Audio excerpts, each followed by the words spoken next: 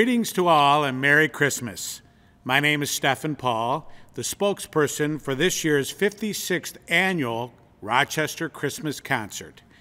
Normally, I would be addressing you in person as we gather in the beautiful St. Andrew Catholic Church located in Rochester, Michigan. In attendance would be around a thousand people. A whole day of festivities would have taken place and would conclude here for a beautiful musical gathering of Christmas spirited music. This year, the venue is going to be a little different. Those involved in putting the concert together had some community and group health concerns and decided until they could be assured that a mass gathering of multiple choirs, a flute chorus, brass ensembles, and including audience participation ending with a sizable mass choir singing Handel's Messiah, it might be safer if it was in an online format for this year's event. You are about to experience our first attempt at an online virtual concert, one that you can enjoy in the comfort of your own homes all season long, sharing the stream with your family and friends around the globe.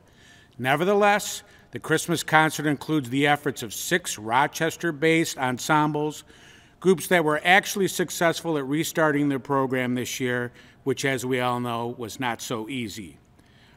Our zealous wish is that you sit back, pour yourself a hot chocolate, light the fire, turn up the volume as we bring into your home this year's Christmas spirit in the 56th annual and virtual Rochester Community Christmas Concert. I now invite the pastor of St. Andrew Catholic Church, Monsignor Michael Radisco, to bless us and invite Christ's blessing on us all and this Christmas event.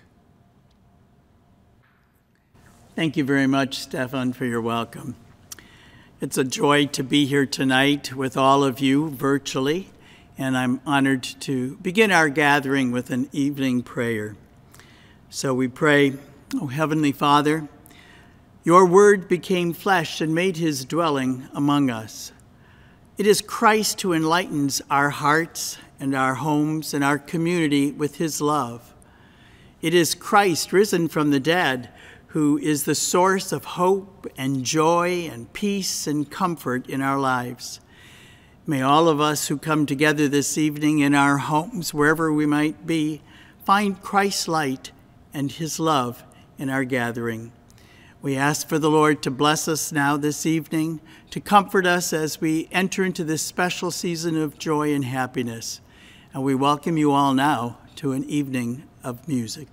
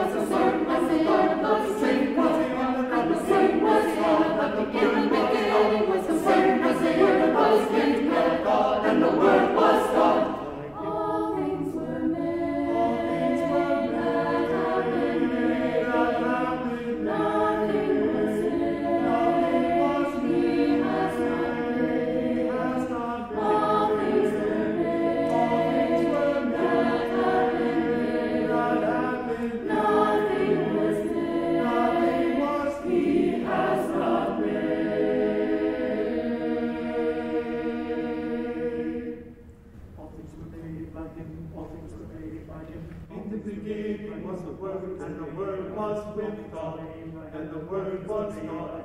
In the beginning was the Word, and the Word was with God, and the Word was God. In the beginning was the Word, and the Word was with God, and the Word was God. In the beginning was the Word, and the Word was with God, and the Word